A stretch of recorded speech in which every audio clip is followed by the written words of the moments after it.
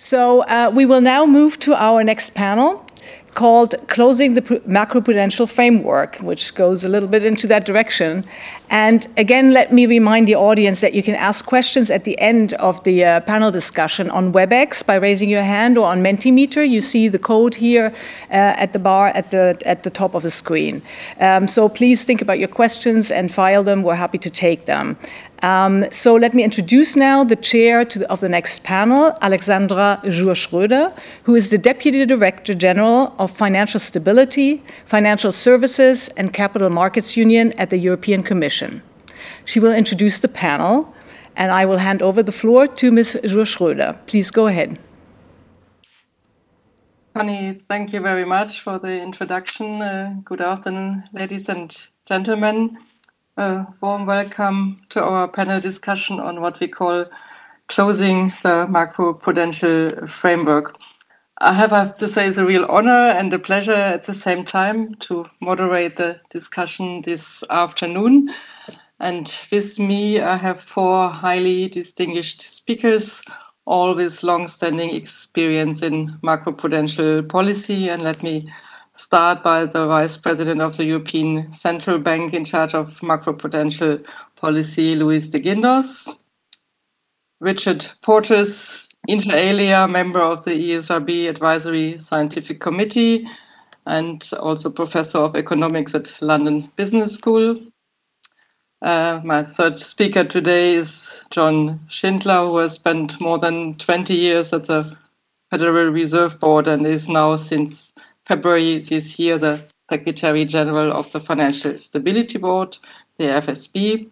And last but certainly not least, Daniel Tarullo, Nomura Professor at, of International Financial Regulatory Practice at Harvard Law School and inter alia a former member of the US Federal Reserve Board.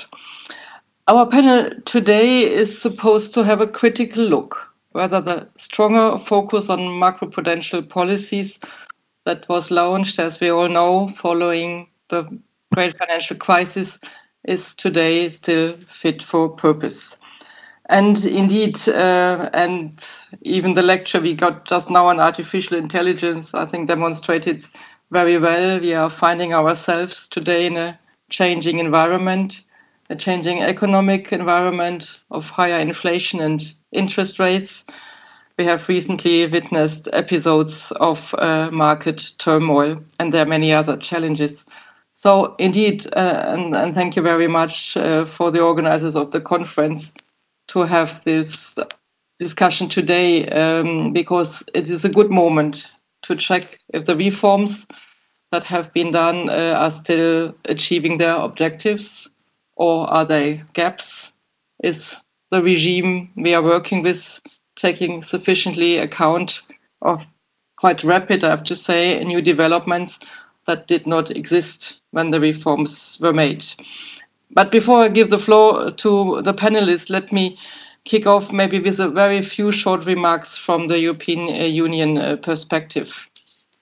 Uh, and many of you will know that since basically 2014, the EU has established a comprehensive macroprudential toolkit for banks that builds a lot upon international standards agreed upon by the Banking Committee on uh, Banking Supervision. Uh, and it consists primarily of capital buffers added on top of minimal capital requirements. There are also some other macroprudential tools such as tightening risk weights for certain bank exposures, concentration limits or liquidity requirements are available too, but I have to say those have been used less frequently. I think it's safe to say and also documented with numbers that the European Union macroprudential policy toolkit for banks has increased the resilience of its banking sector in a preventive measure leaving it prepared, as we have witnessed not so long ago, to adapt to adverse shocks, for instance, in the COVID 19 pandemic. And it has also contributed, in our view, to addressing the specific risks stemming from the systemic importance of large and complex uh, credit institutions. But uh, let me turn to macroprudential policies for non-bank financial intermediaries, the NBFI, that are very high on the Commission's agenda. Um, many of you will know, but maybe not everybody, that we have recently introduced some measures to address liquidity risks for NBFI. And let me give you an example. For insurers, the review of the Solvency II regime will most likely introduce powers for competent authorities to suspend redemption rights for life insurance products, and that is in line what we have already done for investment funds. Um, and we are in the EU, in the Commission, in the process also to assess the effectiveness of what we have today for NBFIs. And this, in this respect, we consider cyclical and structural systemic risks uh, to be examined very thoroughly. And I know there are also many other uh, topics like climate change and crypto assets and cyber risks. And all these topics are also very high on the agenda of European institutions, uh, the European Central Bank, the ESRB, but also very much in international fora. And that brings me immediately to my panelists. And I will start with Luis de Guindos. Luis, perhaps you could provide us with your views. What kind of improvements have been made in the macroprudential framework, but perhaps what would you see as gaps which may, may need to be filled if we are looking forward and assess the current situation? The floor is yours. Thank you, Luis. Thank you very much, uh, Alexandra, and uh, you know, good afternoon to everyone from from uh, Frankfurt, and thank you very much for the invitation to this ESRB annual conference. I am looking forward to our discussion about the macroprudential policy framework, whether regulatory reform met its objectives, and whether there are some gaps that need to be closed. Let me emphasize three achievements that uh, represent a great improvement from the pre-global financial crisis times, as they substantially increased bank resilience and contributed to the stability of the financial system. I am referring first to the establishment of macroprudential authorities at national and European levels with clear mandates and policy objectives. Second, the, active use of macroprudential tools across jurisdictions. And finally, the enhanced cooperation between micro and macroprudential authorities. At the same time, the pandemic also highlighted that macroprudential policy had not reached full maturity could have been more effective if more capital buffers had been built up in normal times, and if provided with additional tools, in particular for non-banks. More recent events uh, also that, reminded us that not only capital but also liquidity issues can become quickly systemic, something that you have indicated, Alexander. Last autumn, we saw shocks to market liquidity in the UK when price uh, falls in core government bond markets led to forced selling by non-bank financial intermediaries. Earlier this year, we saw shocks to funding liquidity, where deposit runs at an unparalleled speed led to the largest ever bank failures in the US and the merger of a global systemically important Swiss bank following liquidity outflows. So, after highlighting the important achievements and challenges, let me mention three areas for further improvement in the design and functioning of the macroprudential framework for banks and suggest ways of strengthening the framework for non-banks. First, it is important that more macroprudential policy space in the form of releasable capital buffers is available in normal times. This approach uh, enables authorities to respond to a wide set of economic shocks. The full release of these capital buffers in periods of distress mitigates the risk of bank deleveraging when banks might be reluctant to use other regulatory buffers to avoid limitations such as those on dividend payouts. Several countries have recently modified their macroprudential frameworks to build releasable buffers in a more flexible way. At the ECB, we strongly support this positive neutral cyclical buffer approach. In this regard, we also support regulatory initiatives at the European level that aim at increasing the flexibility and effectiveness of the countercyclical capital buffer framework, allowing for timelier activation of the measure. Second, it is recognized that borrower-based measures proved to be very effective in limiting the indebtedness of borrowers and addressing systemic risk in real estate markets. Consideration should thus be given to empowering national authorities to activate these instruments by adding them to their macroprudential toolkits. Should risk be mounting, borrower-based measures can usefully complement capital and liquidity-based measures traditionally applied on banks. And third, turning to liquidity, the recent episodes were a reminder of the importance to look at the design of liquidity standards for banks and its macroprudential dimension. The increased digitalization and use of social media in the context of the system-wide decline in liquidity that we witness may call for a closer analysis of the liquidity regulation going forward.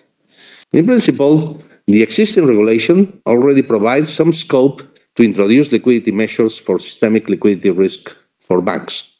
In contrast, regulation of liquidity risk in the non-bank financial sector and system-wide dimension is incipient. The non-bank financial sector has been growing rapidly, increasing its market footprint and becoming more interconnected with the wider financial system. With non-banks playing an increasing role in financing the real economy, it is crucial that the non-bank financial sector remains resilient in times of stress and does not contribute to exuberant risk-taking during market upswings. Recent stress episodes have highlighted that vulnerabilities in non-bank financial institutions arise from liquidity mismatch and leverage. These vulnerabilities have crystallized during the March 2020 market turmoil, the failure of Archegos capital management in 2021, and the UK government gilt market stress in 2022. Some of these episodes required extraordinary policy actions by central banks to help stabilize markets, raising moral hazard concerns. A macroprudential approach for the non-bank financial sector should thus aim at enhancing the sector's resilience across a wide range of entities and activities. Such an approach could build on existing policy frameworks for instance, in the investment fund or insurance sector, and develop a comprehensive set of policy measures that address risks from a systemic perspective. Given the large cross-border dimension of non-bank financial activities, it is, it is also clear that any further reaching policy reforms should be rooted in a strong international coordination, including uh, across the Eurosystem and targeting activities and entities. In line with the international policy agenda, this means, first, swiftly finalizing and implementing the FSB recommendations on addressing the liquidity mismatch in open-ended investment funds. Second, remaining, uh, equally ambitious in delivering recommendations that enhance the liquidity preparedness of market participants to meet margin and collateral calls. And third, developing a globally consistent approach for addressing risks from excessive non-bank leverage. In a second step, possible gaps in the policy toolkit should be assessed to identify areas where additional macroprudential policy tools could be needed. This should also involve assessing the institutional setup and role and the role of authorities in implementing these policies. We have seen that the macroprudential approach has been instrumental for increasing banking sector resilience after the global financial crisis. There are good reasons to expect that the strengthening the policy framework for non-banks from a macroprudential perspective could further enhance financial stability and reduce the risk of policy leakages. Ultimately, it will be key in supporting monetary policy in fulfilling its objective by ensuring a more stable provision of funding to the real economy. Thank you very much for your attention. Back to you, Alexander. Thank you very much, Luis, for your insights and also be very much keeping in 10 minutes time with all your very, very interesting and useful recommendations. And let, let me turn to Richard. Uh, Richard, I think you are the right person to give us a bit views to follow up what Luis said on NBFIs and perhaps uh, also something on crypto assets. That would all be very interesting. And I see you have a PowerPoint presentation. Your floor is yours. Thank you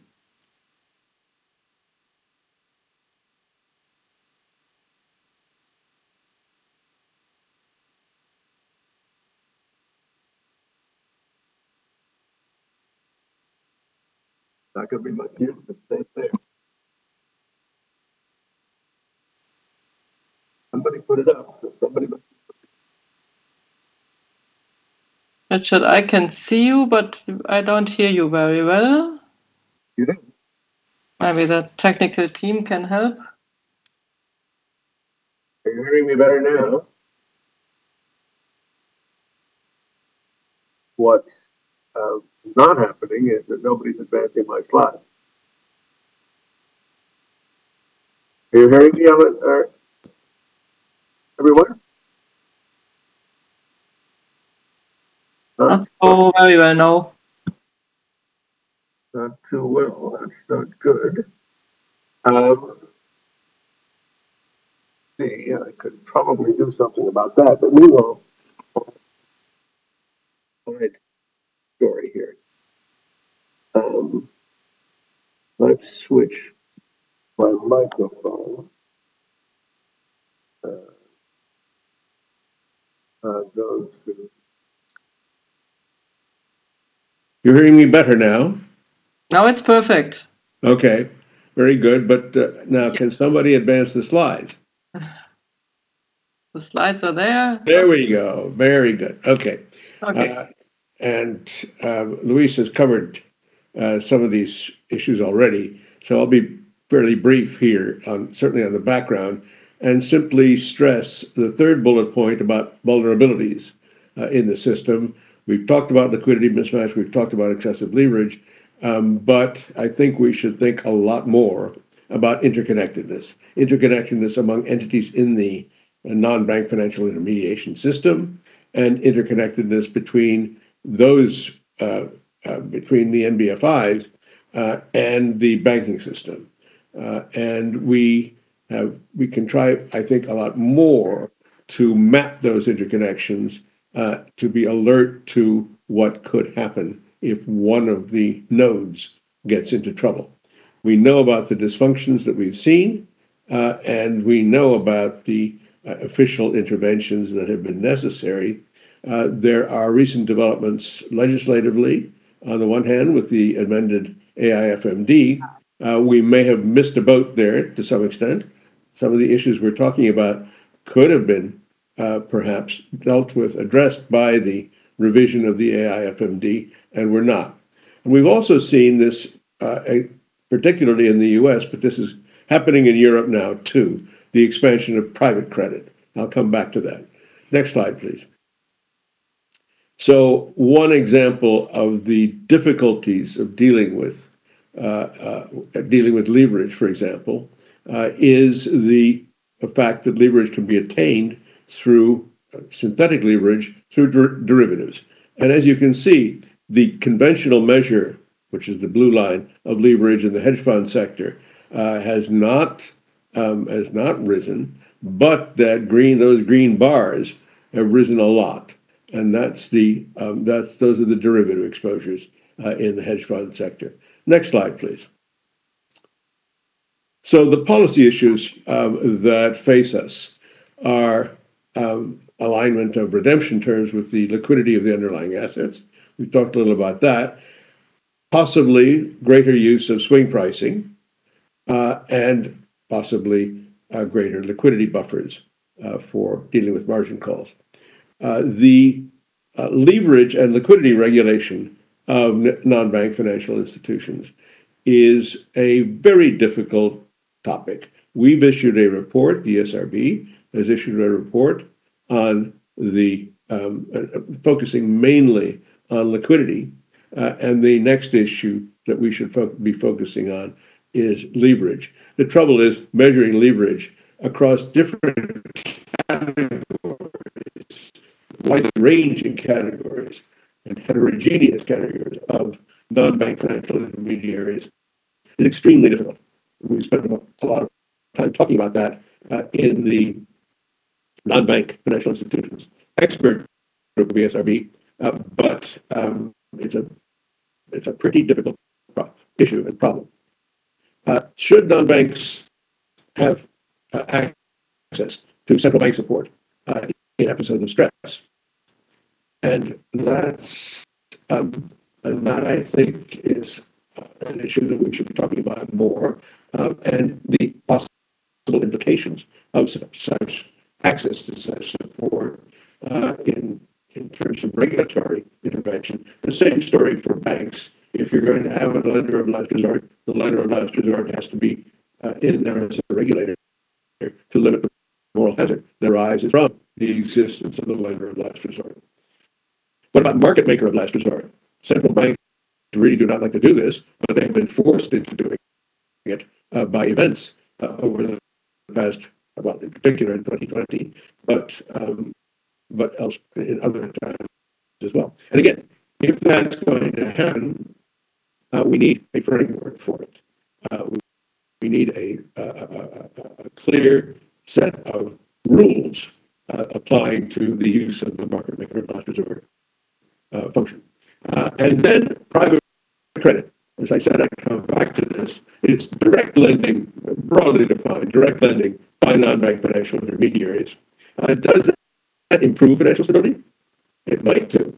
If it were to move lending from the highly leveraged duration mismatched banks to less leveraged duration matched funds, you can think of uh, counter arguments, of course. Do the non-bank financial intermediary lenders um, um, do the non-bank financial intermediary lenders uh, have um, uh, uh, sorry, I'm seeing a, a message that my voice, the audio is not good anymore. Is that true? Are you hearing me now? Are you hearing me? We hear you not so well. At least I not can. so well. Yeah. Well, let's move the mic even closer and see whether that's any better. Is that better? Oh, it's fine. Okay, good. Uh, so um, I was saying that the um, private credit, uh, which is growing uh, very fast in the US, is starting to grow here and might actually be a positive phenomenon, uh, although uh, the lenders themselves are not really necessarily able to act with the same monitoring capabilities as banks. Next slide, please. So let me turn, if I can. Next slide. Next slide. The crypto. Crypto assets. Whoops. Back a bit. Back to the previous slide. That's it. Uh, some background. You know about the crypto, the rise of crypto, and then the crypto winter in um, 2021 22. Uh, and crypto is now in a state of everybody talking about a comeback, uh, but it's not quite clear what's actually happening. There have been many failures and scams and hacks and so forth, uh, and that um, uh, I've, I've set some of them out on the slide. Some of the stable coins, supposed stable coins, have actually broken their pegs. Uh, famously, Tether at one point, uh, but also USDC at the time of the Silicon Valley Bank crash. Uh, the key danger here is the interconnectedness of crypto with the traditional financial system. So far, that is not very well developed. That is not very extensive. But if, as is now widely conjectured in the financial press, uh, if crypto asset exchange traded funds are enabled, uh, that could be a very tr- attractive investment vehicle for those who want to get into crypto.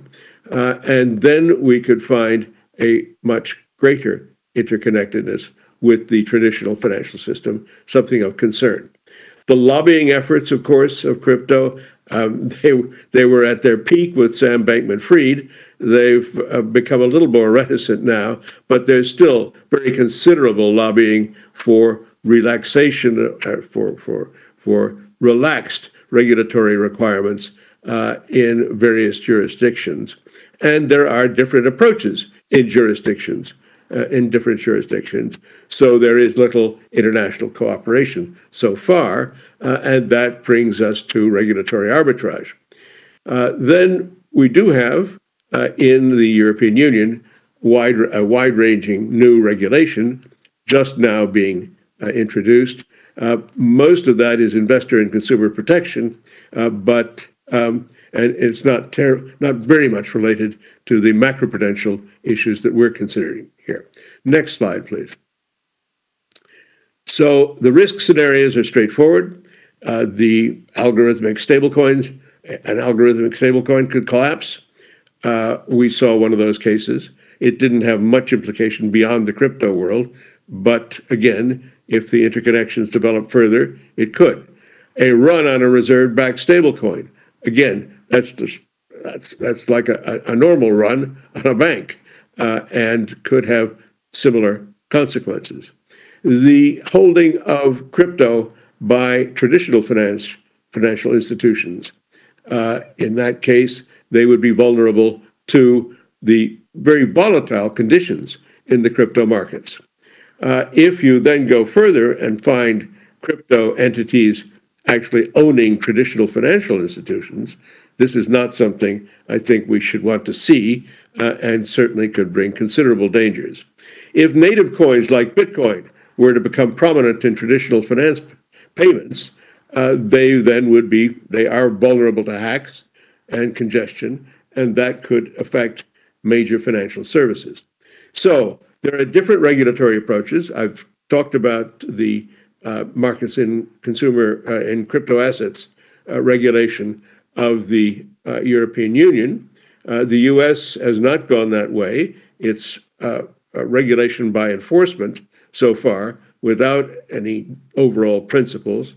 one approach would be simply to leave crypto alone and let it implode, which which it may do even if it's even if it's regulated. an alternative approach would be in particular for the native coins like Bitcoin, uh, simply to regulate investment in that in the same way that we regulate gambling, because that, after all, is what it is. And next slide, please, the final slide. Uh, right. And these are my personal reflections, if you like, uh, nothing to do with my uh, ESRB activities, uh, in principle at least. Uh, I find no, so far, no convincing use case for crypto. crime, fraud, etc. Money laundering has become a significant issue uh, with the uh, suggestion that a lot of the funding of Hamas has come from crypto being transferred to them and utilized uh, to fund their activities. Uh, so, as for blockchain, what are the examples of the efficiency savings supposedly due to crypto? Uh, and if you are trying to consider to calculate any savings, any calculation has to include uh, an allowance for the costs of know your customer and anti-money laundering. Uh, and it's not clear that the uh, calculations so far have acknowledged that. There's no doubt in my mind that crypto does not have the standard attributes of money. Uh, it, we established in our report that it is not a hedge against inflation.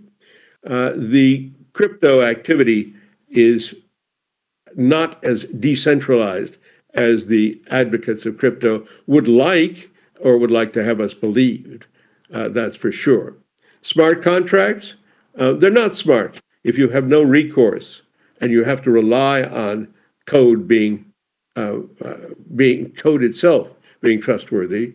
Uh, if you have no body of contract law, it's not clear to me that that is a smart system for contracts.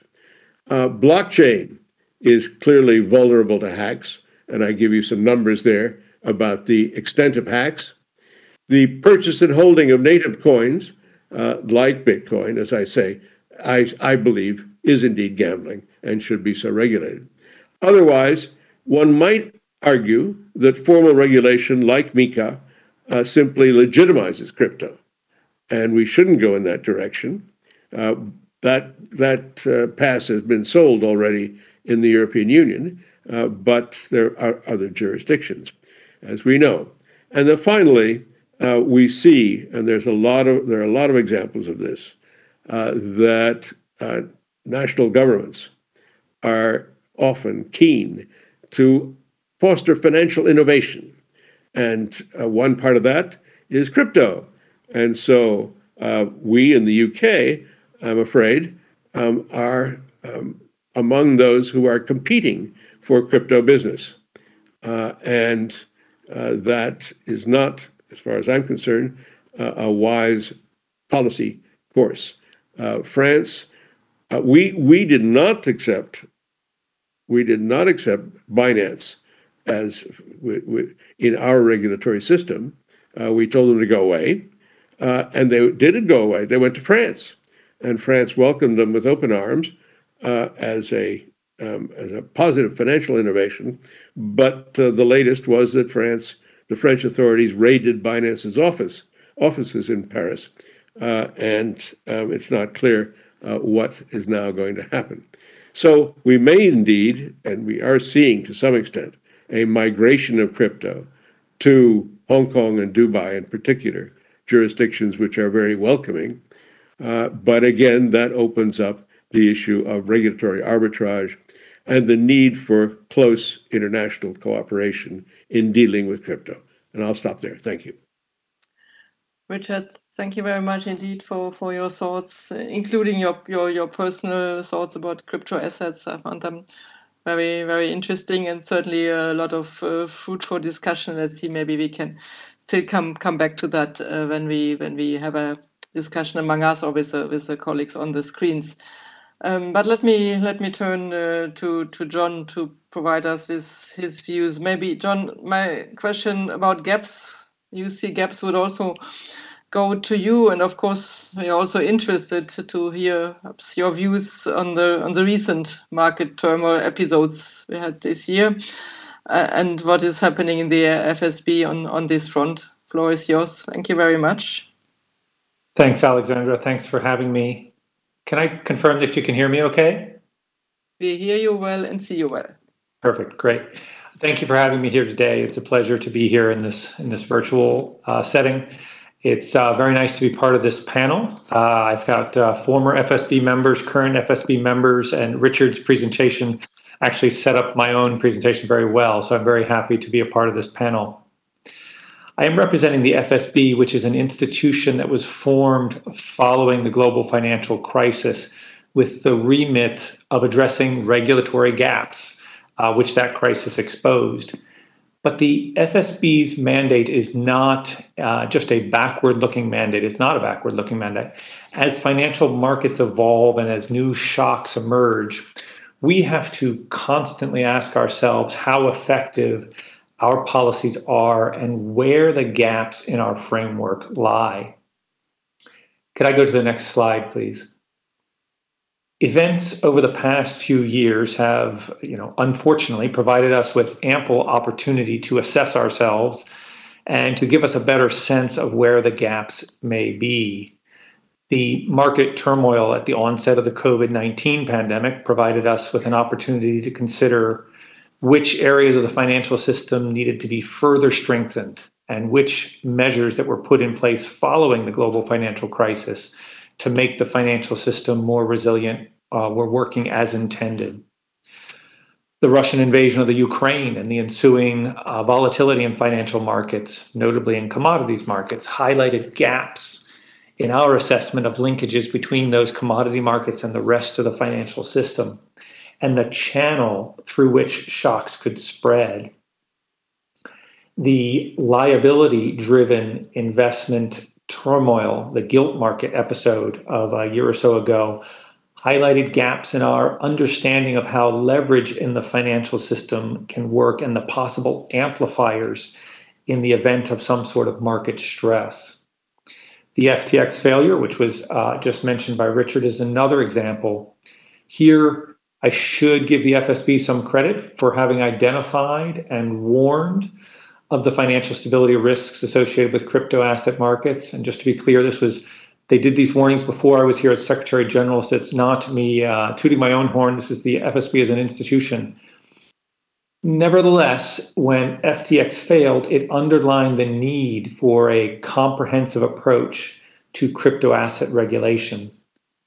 And then the March banking turmoil of earlier this year, which underlined and highlighted gaps in regulation and supervision, and for us, importantly, the resolution framework. We don't want these things to happen, these events that are on the screen, but when they do, it is imperative for us as regulators to examine those situations, learn what we can from them. And one of the lessons we always have to be looking at is what gaps were revealed by these events. I can't talk about all of them. Thankfully, Luis and Richard have talked about some of them, but I do want to touch on the March banking sector turmoil and crypto asset markets. And if I have a minute, I will mention uh, non banks as well. Could I go to the next slide, please? So, the turmoil in the banking sector earlier this year raised a number of issues.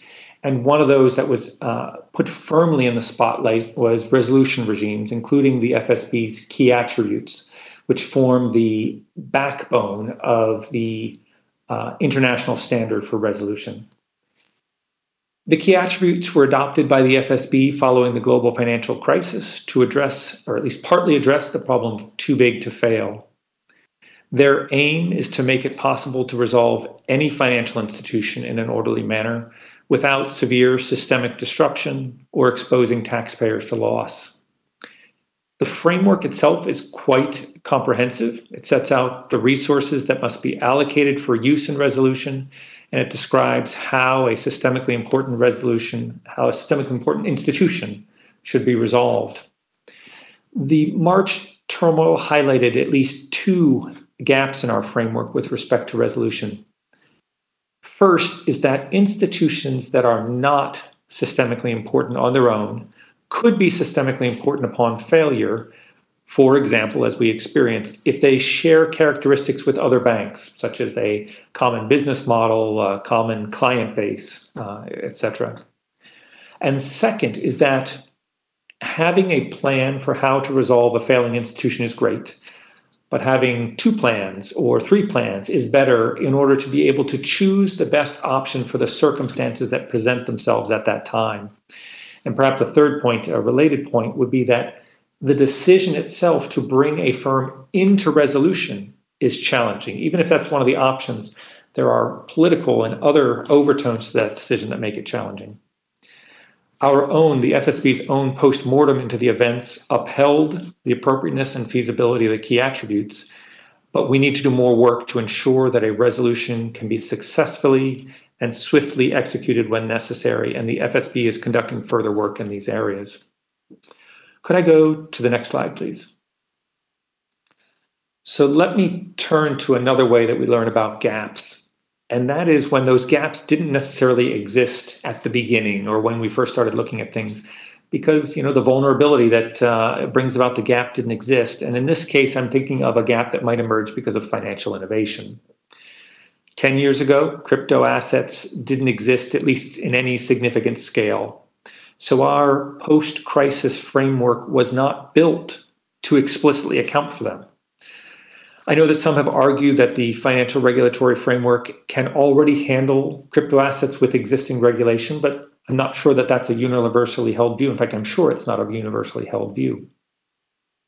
As part of the FSB's remit to monitor and assess vulnerabilities affecting the global financial system, the FSB monitors financial innovation and in 2018, the FSB developed a framework to assess potential transmission channels between the crypto sector and the traditional financial system. Then in February of last year, we published a report highlighting the risks to financial stability posed by crypto assets. A focus of our work since then has been the development of regulations for crypto asset markets and activities, as well as for global stablecoins. And those recommendations were we're very grateful, were endorsed by the G20 a few months ago. And I think I'd like to to reiterate a point that Richard made, or maybe make it even uh, reiterate it and make it clear there. Consistent implementation of the recommendations on a global scale is critical because otherwise the regulatory gap will still exist. 100 countries, 150 countries, if you're leaving somebody out, it's not going to be an effective regime. So promoting global implementation of our recommendations will be a big focus of our work over the next year. If I could go to the next slide, please. It's already been mentioned, uh, non-bank financial intermediation, what we called shadow banking uh, at the time of the global financial crisis. I want to highlight some work. Luis mentioned the, the liquidity uh, imbalances. Uh, Richard also spoke about these. Uh, so I would just want to briefly say that liquidity supply and demand, it's been a focus of the FSB's work over the last couple years. They tend to be in balance in uh, good times. But in stress time, that liquidity supply tends to dry up and the demand, demand soars to the point where sometimes liquidity can't be sourced or purchased at any price. And this forces market participants to behave in ways that could be detrimental to financial stability. This could be uh, fund redemptions, it could be forced asset sales, anything that helps to transmit that shock to the entire financial system. The FSB has uh, a fair amount of work on this and on some other areas that were already mentioned, including the non bank leverage, for example. This work is not being done in a vacuum. It's being done, it's worked closely with other standard setters, notably IOSCO. And this is to ensure that our policies complement and interlink effectively. And I think this goes to Richard's point about, uh, uh, mentioned it with crypto in terms of the cooperation. If I could go to the last slide and I'll just summarize uh, using a few points there. I think we all know that these gaps exist and some of these gaps have been there for a long time uh, maybe we didn't know about them because it, we needed some sort of stress episode to reveal a gap that was already there. Some of these gaps weren't necessarily there before because something like financial innovation brings about a new piece of the financial system that we weren't set up to handle. So that introduces a new gap. And I think about something like uh, NBFI, which is something that was on the radar screen, but as markets have shifted, as we've increased regulation in one area and activities have shifted to another, maybe something that was too small to matter has now jumped up on our radar screen. So I think there's a variety of ways that these gaps come about. I, as a somebody representing the FSB, I have to say that all of these to me reinforce the importance of the FSB as a forum to promote uh, global cooperation and coordination. And I thank you, and I'll turn it back over to you. John, thank you very much for, for your broad uh, overview, uh, I think touching on many uh, different topics where one can possibly identify gaps and also some of the ideas how we how we can close them, and also from from the that you mentioned the global perspective that is certainly very very important. Uh, and let me turn to, to my last speaker, this is Daniel. And we have heard a lot about what's happening in the European Union. We have spoken about more the multilateral uh, framework, but of course we are also very much interested in development in the United States, and I think you are the right person to bring us uh, abreast what's happening, especially maybe the banking, but also the, the non-banking sector we have just heard about. Please, the floor is yours. Thank you, Alexandra. Um, so there's an awful lot that one can say about macroprudential regulation, obviously, and and the previous speakers have touched on a number of those topics. I will, in in talking about the United States, I want to zoom in a bit and focus in particular on the thing that's always worried me uh, and that continues to worry me, and that is the the analytic capacity and legal and institutional capacities of relevant authorities here in the U.S. Both to identify and take action when there are um, uh, parts of the market engage in significant levels of maturity transformation with substantial reliance on short term wholesale funding. That is, where you have the intersection between a good bit of leverage and a short term funding structure. Uh, and, and so, in going through this, I'm going to start with banks and then turn to non banks. Um, within the prudentially regulated, that is the banking sector, uh, I divide developments into three categories those that are kind of upside, uh, those that are kind of neutral, and those that are downside. On the upside, I'd say that regulation of GSIBs has been uh, implemented with an emphasis on their systemic importance, even where the kind of regulation looks microprudential. I think it's been motivated by macroprudential considerations. That's why US GSIB surcharges are higher than the internationally mandated surcharges. That's why the liquidity regulation de facto goes well beyond what the LCR and NSFR require. Uh, it's why the the counterparty uh, credit risk and and uh, risk management requirements are very, very strict for GSIBs. Um, and I think, all in all, uh, while one doesn't want to draw too strong a conclusion from the relative stability of banks, both in March 2020 and in March 2023, um, I, I, do think that that's at least some modest evidence for the proposition that when it comes to GSIBs, the US has done not a complete job, but a reasonably good job of taking account of their importance to the financial system uh, and regulating them accordingly. Uh, so, on the neutral point, my neutral point is that stress testing, although it continues to provide a uh, really quite good picture of the financial system, at least for the roughly 70, 75% of US banking assets that are covered. Um, I don't think it's developed in the way that one might have hoped a macroprudentially driven stress test would develop. There's been no follow up on the explicitly macroprudential enhancements that the Federal Reserve identified in 2016, things like incorporating fire sales and liquidity squeezes into the stress test. Um, and then there's the downside, and the downside uh, John and uh, has already referred to, which is the March 2020 failures of several mid-sized regional banks, uh, which raised questions in my mind about analytic capacities, uh, what, or at least the the uh, uh, resoluteness with which the analytics were being done. that it, how could one not see that there was going to be a problem when you had really rapid growth 90% of your funding was coming from uninsured deposits. Uh, you had a lot of unrecognized losses on your balance sheet, uh, and you had a business model which used to look like an advantage to markets, but it kind of morphed into a disadvantage because of its idiosyncratic characteristics. Um, so I, I, think there there was a bit of an analytic breakdown, uh, and as people have already alluded, there obviously needs to be some regulatory change uh, changing AOCI, doing something about the uh, exposure to that level of uninsured deposits. And I would say the US really needs to just bite the bullet and do something about interest rate risk. Uh, pillar two doesn't work very, it doesn't, there's not much of a pillar two instinct in the United States. So I think it needs to be done through a pillar one regulation.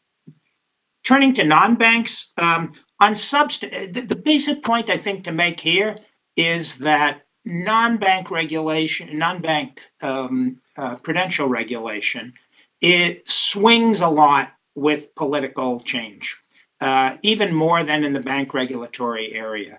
The Financial Stability Oversight Council is headed by the Treasury Secretary. Um, that inevitably, I think, gives it uh, more of a political feel. Um, you know, it's not Christine Lagarde sitting there. It's not Jay Powell, Christine's counterpart, sitting at the head of the table. It's the Treasury Secretary, and you know, I'm extremely fond of the current Treasury Secretary. Um, but it's it's just a way in which things do change, and we've seen that with the attention to non-bank SIFIs and to um, potentially uh, worrisome activities. Uh, during the Obama administration, um, uh, with the secretaries of Treasury whom uh, he appointed. There was a fair amount of attention. There were designations of non bank uh, systemically important institutions, which would then be regulated by the Fed. Uh, under, the, uh, under the Trump administration, there was an explicit walkback from even thinking about naming non bank um, uh, systemically important institutions. There was a stated desire to do something about systemically uh, threatening activities, but in the event, nothing was really done. Um, now, uh, since President Biden, uh, President Biden's appointees have um, been put in place, the FSOC has become, you know, considerably more activist. Uh, they their analytic capacities, which are always, I think, significant, have been have been brought to bear. Uh, a lot of good working groups, I, uh, some good reports that are coming out, but the action continues to lie mostly with individual agencies. Um, and why and, a lot of the the uh, latent legal authority was actually with the SEC, and even in the Obama years, the SEC was not inclined to take it take on a systemic risk regulatory role. Uh, that's changed with Gary Gensler as chair of the of the SEC, which is why I think you've seen uh, over the course of the last 18 months or so a number of relevant initiatives. The the uh, revamp of the approach to money market fund regulation. I'm not sure they're quite there yet, but at least it's another try. Uh, its proposal on open ended mutual funds, its uh, rule requiring more transparency and investor protection measures for private funds, including hedge funds and private equity funds, uh, its private fund reporting requirements have been increased. Those are not publicly available, but they go to that that point that Richard was making about private credit. You know, will the authorities at least know what kind of exposures um, are building up there? Uh, and finally, although um, with perhaps a bit more uh, ambivalence around it, the the uh, SEC proposal for central clearing of treasuries. Um, there, I suspect that that Treasury and the Fed are not sure that the proposal is quite where they want to be right now. Um, but at least it is moving forward the effort to come to grips with potential uh, problems in the Treasury market. Um, so then just a couple of things on institutional structure and capacities. I, I mentioned already that uh, there, there's there's decidedly more of a political center for FSOC, uh, and that means that you get bigger swings, I think, in the level of activity. And so, you know, I, right now I like the level of activity, um, but you know, it's going to shift as new administrations come in. Um, there, there are a couple of other institutional features which sometimes go unnoticed. The the SEC, the Fed, um, they, they, these agencies are represented only by their chairs. And yet, to get anything through the agency, you need to have a majority of the full board or commission. Uh, and that's actually occasioned some friction over time, um, both under Democratic and Republican administrations. Um, uh, and uh, finally, the presence of some of the non-voting members, some of the state representatives, just kind of it it it's a little clunky, and and I think the FSOC operates a little less efficiently as a result. Um, perhaps a, more pressing issue is that there are areas in which no member agency of the uh, FSOC has authority to act, and you know that includes hedge fund or mortgage REIT or private equity firms, not in terms of their transparency, not in terms of some of the classic SEC things, but in terms of their overall leverage, their overall liquidity profiles. So the SEC can get in in terms of traditional uh, securities like uh, perspectives, and that can be very helpful. But they can't go in and say that a hedge fund has to limit its leverage, for example. Um, and that is a gap. Uh, it's it's the kind of thing that John was alluding to. You have to look out over the horizon and see where are might problems arise and where is legal authority uh, lacking. Um, you can perhaps get at some of it through things like regulating um, uh, collateral requirements and margin requirements in repo markets where authority does exist but it's still decidedly second best. And I think that remains a major gap in the United States, uh, and and something that you know the FSB, I would hope, uh, would over time consider and try to see if if it can produce some recommendations for moving forward. So, bottom line, big improvements in 2008 on the biggest banks uh, regulation. Um, some issues around maybe the mid-sized banks uh, and and how that needs to be further addressed.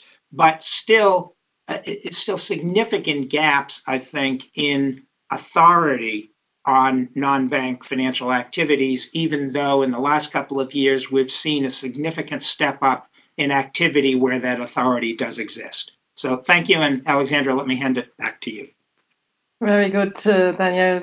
Thank, thank you very much for your very deep uh, insights. Very, very interesting, I have to say. Gentlemen, listen, I think we have basically 10 minutes left uh, um, among us. Um, and I would open the floor um, among ourselves about comments, questions. I mean, we have covered a very wide range of topics. I would perhaps just have one question, but then I would also leave it to you to ask your colleagues in, in the panel if there is something you would like to, to react to.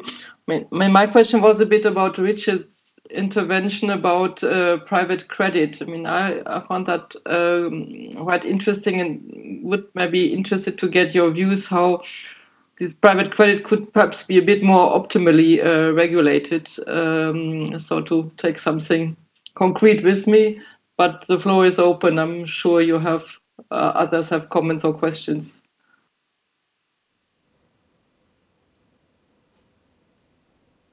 So I, uh, j- just to reinforce something that I think Richard was suggesting in, in his own comments, that whether private credit is a good thing or a bad thing depends a lot on the characteristics of the entity that's extending the private credit. Um, you know, if it's largely equity backed and uh, they're not subject to runs, uh, then sure, you lose a little bit on the monitor, maybe a, a fair amount on the monitoring side.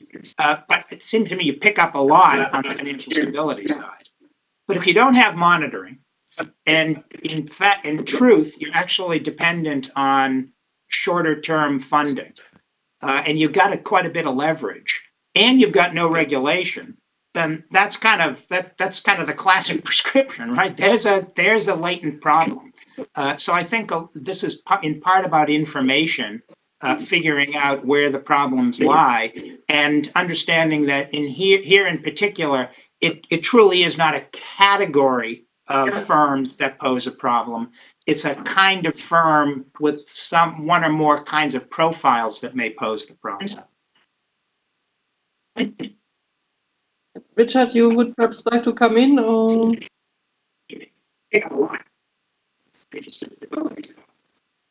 But if you don't have monitoring, and in truth, you have to do it. Yeah, Richard, I think we are back with uh, your connection problem. Perhaps uh, Alexandra can jump in, and I have, uh, you know, unfortunately, I have to, to leave at four fifteen. You know, perhaps something that you know much better than myself but that uh, Rob, uh, Richard referred to is the, the MiCA regulation. Huh? The MiCA regulation refers and is focused on stable coins. Uh, it's not as much uh, about crypto, hmm? But uh, is uh, totally focused on stable coins. That is a different, let's say, animal with respect to the rest of the of the of the of the of the crypto assets. No, so just to put it, you know, a little bit in perspective. Yeah, thank thank you. That's a very good clarific clarification. Okay, maybe I we see that if Richard can hopefully join us back, and otherwise, I think Connie, I would give the floor to you. I'm sure that also our audience may may have a few questions but before i do that my big thanks to all of you for your very uh, insightful great interventions. I have learned a lot i have to say. We have covered uh, enormously wide uh, range of topics. All have their challenges and difficulties I think it is also important that we continue our international dialogue because many of them are not European, not simply US challenges, but they are global ones. So also very happy that we had John today with us. And with that, my, my thanks to the panelists. And uh, I give it back to Connie. Thank you very much. Um, thank you very much, uh, and, and the panelists. But we do have a uh, a few questions here from the audience. So um, again, I would encourage some who to send it via Mentimeter. You see the code there, or raise your hand on WebEx. But let me start with the first question, um, which comes from Ralph Jacob of the ESRB Secretariat. How would we incorporate non-bank financial institutions into the macroprudential framework? Looking ahead, should there be a single but broader macroprudential framework including both banks and non-banks? This is a very broad question. And I hand it to you, Alexandra, to determine who should answer that question. Yeah, absolutely. No, I think it is a broad question, but I think it is absolutely it's very uh, is a valid question. Uh, you know, we have, as I as I tried to sketch out in my introductory statement, I think we are quite well advanced when it comes to the to the banking sector where all it started. Uh, but somebody said that uh, the non banking sector has, of course, uh, much grown. I think what is needed, first of all, is a, is a thorough analysis. Um, and uh, we have started with the colleagues in the Commission to look into that, but I think we need also to have more the views of uh, the affected stakeholders. And, and that is what we are what we are working on and this is a quite complex task as it is not simply one sector, but it is a very range, range of difficult activities. so we are very much inclined to, to do that, to look into that. Uh, and then I think we have to come back and draw the conclusions uh, because we cannot simply compare um, the many different players we have in the non-banking sector and regulate them across the board. But again, problem is well understood by us.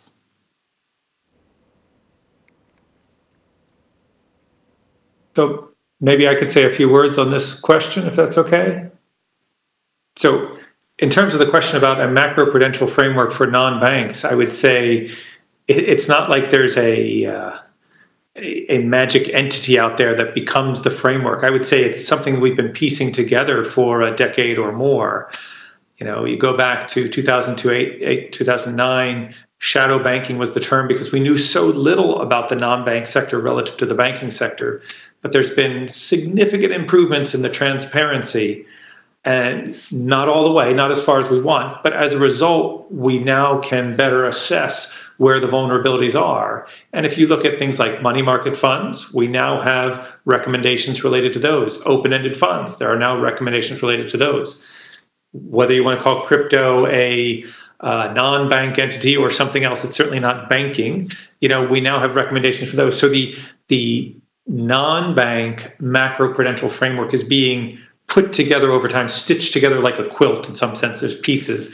There is no single non-bank macro-prudential regulator, at least not globally and probably in very few countries. But I think we are stitching it together. We got a long way to go, I would say, but uh, we're making progress. Thanks.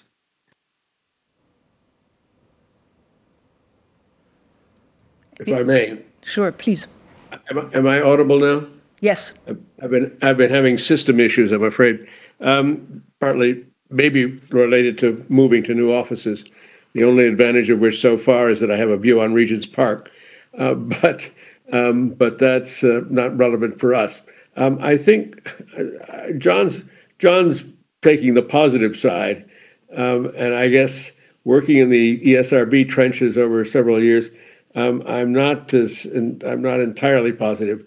Uh, for example, on money market funds, we there was discussion, extended discussion in the European Commission and the European Union about further revisions to the money market fund regulation. Um, we ESRB put forward a set of proposals, and it has been shelved. Okay, all that has been shelved. I'm not sure what the politics of that was, uh, but um, it'll have to wait if at least for the next commission, uh, if anything's going to happen. Uh, and uh, on, you know, we we have made some progress, I think, at least in, in conceptual terms, talking about liquidity. As I said, I think we're we we have real difficulties with leverage. Uh, there conceptually as well as measuring things, uh, and uh, and as far as measuring things are concerned, John, you know, we still have, um, uh, if we look at the data um, on non-bank financial institution intermediaries, um, about a third or more is still other financial intermediaries, right? Oh, the OFIs, right? But the data that we have are are are still, you know, pretty, and that's come down. You know, it used to be 50, I suppose, when I first got into this game, and it's come down to 35. But I mean, still, uh, this is this is a, a big issue there, there's more to say. Uh, on crypto, uh, the whatever recommendations have come out so far are not being particularly observed in quite a number of jurisdictions. And uh, and as I say, we we clearly have a regulatory arbitrage, big regulatory arbitrage issue there.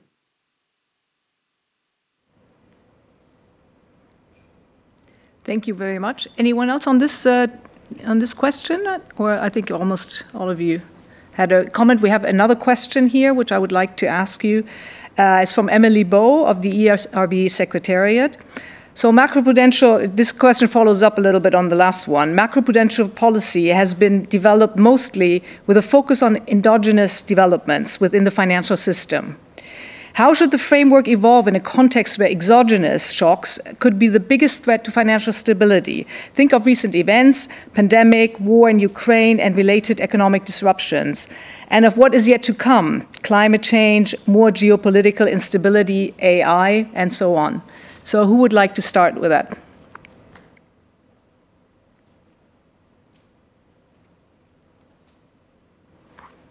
I'm happy to say a couple of words just in general. I think one of the the thoughts behind financial stability analysis of vulnerabilities is that you cannot protect against every shock. You cannot. I can dream up a list of a, a thousand different shocks, and I'm not trying to protect against the probability that an asteroid strikes the Earth. You know, what I try to do, what we try to think about is building resilient financial institutions that could absorb a multitude of shocks. And we do that by thinking about things like capital and liquidity buffers and other things that protect you against those vulnerabilities. So whether the shock is endogenous or exogenous should matter less if you have resilient institutions. So I, I that's a maybe a a too general answer to that question, but that's how I think about it at least. And I turn to the other panelists if they want to tell me I'm too optimistic.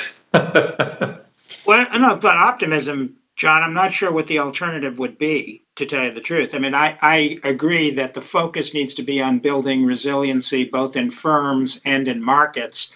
The, the, one can supplement that, though, with scenario work um, but with with stress testing in your financial sector, and then the kind of you know uh, latent or or, or um, early efforts to try to look at an entire system, because you can you can create an exogenous scenario and run it alongside an, endogenously driven scenario, and you learn something. But what and what you may learn is you need to make some adjustments in your resiliency requirements. Um, but but I don't think you can get to the point where you're saying we have exogenously motivated macroprudential regulation. I, I, I, agree with John. I think in the end, it's about the concept of resiliency, and you just try to figure out what kinds of things um, would create uh, challenges for the resiliency that you've got. I think it's it's right if I if I can intervene here. It's right to make that distinction uh, between uh, endogenous and, and exogenous. Uh, and if you look, however, at the um, at financial crises in the past, the big phenomenon is the leverage cycle, and that's that's historically that's where it where the action has been. Uh, and yes, we are we are building up resilience to various external shocks, but I think the main thing that we have to be that we have to be focused on is limiting the vulnerabilities that are generated by the leverage cycle. Uh, and um, and if we limit those vulnerabilities, then with the kind of protections that we have uh, in dealing ex post, uh, then I think uh, we're a lot further along. But I would be focusing on on that, and in particular on leverage. I mean, that's that's where the, as I say, historically, and I've I've done a lot on the history of financial crises, uh, and um, that's where the action is. Alexandra, would you like to uh, sort of wrap it up? I mean, we have uh, no more questions and we're almost run out, running out of time. So, um, I mean, floor over to you for some closing words. I think you're muted, uh, Alexandra. I'm sorry. No, no, I wanted, uh, happy to, to wrap it up. Um, but before, I just wanted to say a few words uh, very briefly on the, on the last question, but that's a bit more uh, related to the particular setup of the European Union, where I think we should perhaps look a bit more closer uh, into the fact that we have still macroprudential policies very much in the hands of national authorities that is not really wrong per se, but um, maybe also we could be a bit more stable in Europe if we would somehow find a more convergent EU level um, when it comes to, to those policies. But of course, should not be right to the to the bottom. Uh, but maybe with, with this, again, I wanted to thank uh, the panelists for an extremely rich discussion. I mean, I take with me that um, we have facing a lot of similar problems in the EU, in the US, worldwide. I think we have made a quite good analysis of the gaps. We have also ideas how to fill them, but uh, yeah, also some more more work to do. Uh, how this should be done. I think somebody said you cannot predict all the risks. I would agree with that. Uh, life is full of risk, but uh, again, I think what we can do, and this is the, the whole philosophy of uh, having a strong macroprudential tools that we can anticipate as much as, as we can in order to, to be prepared. Uh, that was a bit a high level conclusion, but uh, as we had so many things and time is running out, I think I will be, uh, I will not go in the details. Again, many thanks for your insights, also for Connie for her moderation, and yeah, have a good afternoon, everybody. And also thank you from us here at the ESRB and the ECB for participating and uh, despite the slight technical problems here and there, but I think it was very, very interesting uh, discussion. So we have come to the end of this panel discussion. So, um, and thank you again also for the audience for participating. Um, so we will now take a short coffee break and resume at 1645, so 15 minutes to the hour for our last panel. Thank you very much. See you then.